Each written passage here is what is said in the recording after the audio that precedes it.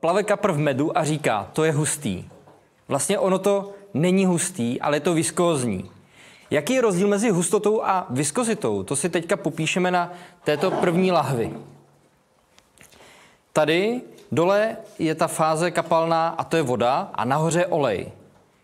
To, že olej nahoře nám říká to, že ten olej má menší hustotu než je voda. Ale zároveň má mnohem větší viskozitu, než má voda. A to si můžeme znázornit tím, když pustíme kuličku, která bude propadat skrz obě ty fáze a uvidíme tam ten rozdíl, jak rychle ta kulička propadá. Tak, ta kulička jela docela rychle, tak si to ukážeme ještě jednou. Ale ti rychlejší z vás, co to viděli, tak určitě viděli, že tady v té žluté části, v té olejové části, tak ta kulička padala pomaleji. Ještě si to uděláme teda jednou. Tak.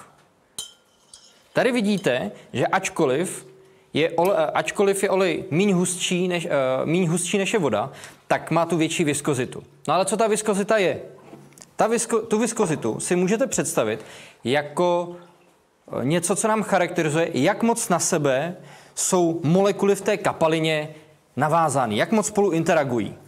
Toto, ty, tyhle ty kuličky, které jsou, mají na sobě takový ty háčky, vypadají tak kudly babky, tak se jdou těžce od sebe. Tak si můžeme představit právě tu viskózní kapalinu tu, ne, tu kapalinu, která má menší viskozitu, tak si můžeme představit naopak jako tyhle ty duhovky. Ty duhovky, ty jsou hladký, nějak se nám nezachytávají, jo, super, se nám nějak nezachytávají a můžeme klidně s nima takhle míchat a nějak se neovlivňují maximálně těma nárazama. Tady máme kompaktní hmotu, která nám vytváří. A podobně je to, u těch, je to podobně u těch kapalin. No a my se teďka podíváme na to, jak vypadá taková viskozita.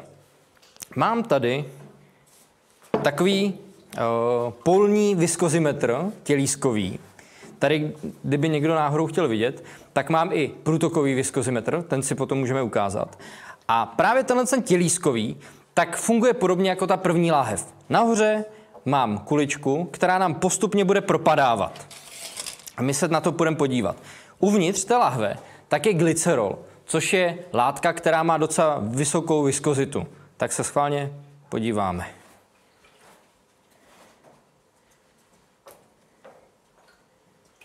Tak, kulička nám dopadla. Ještě si to ukážeme jednou, ale určitě už jste mohli zaregistrovat, že nám to krásně jelo pomalu nahoru. Nahoře v tom víčku nám to jelo mnohem pomaleji. Je to kvůli tomu, že ty stěny byly mnohem blíže té kuličce, než tady potom v tom velkém těle. Tak se ještě na to podíváme jednou. Kulička nám teďka opustila hrdlo a pomalu jede dolů. No a tomu se váže moje otázka. Můžu poprosit otázku? Super. Když zahřeme glycerol, tak se nám viskozita za A zvýší, za B sníží, za C zůstane stejná. My se na to podíváme u poslední lahve, kterou tu mám, kde je ten glycerol zahřátý.